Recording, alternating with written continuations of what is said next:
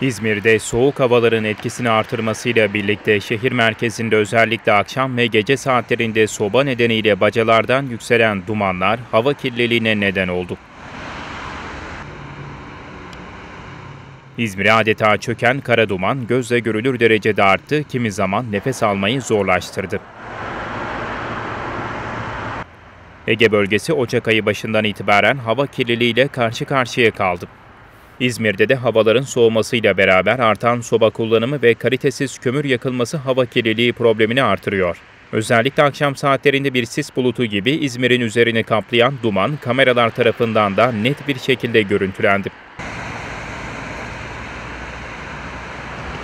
Zaman zamansa nefes almak bile zorlaştı.